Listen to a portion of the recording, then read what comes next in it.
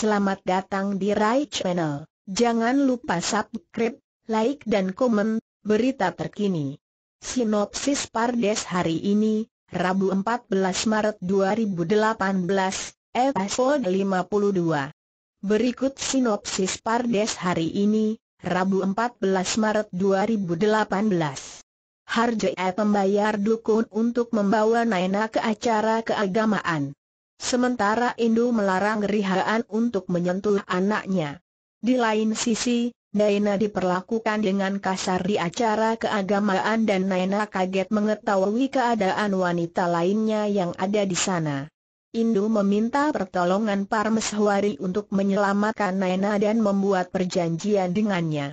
Mereka datang ke tempat Naina berada dan menjalankan rencana yang sudah disiapkan.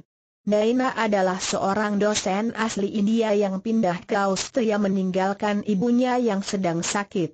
Naina terpaksa menjadi tulang punggung keluarga sejak sang ayah meninggal dunia. Pindahnya Naina membuatnya mengalami banyak kejadian hingga akhirnya menikah dengan Raghav.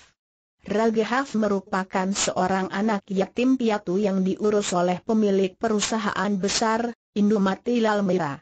Rumah tangga keduanya berjalan tak harmonis di awal, namun pada akhirnya keduanya sama-sama merasakan cinta dalam pernikahan tersebut. Demikian sinopsis Pardes hari ini, Rabu 14 Maret 2018. Terima kasih,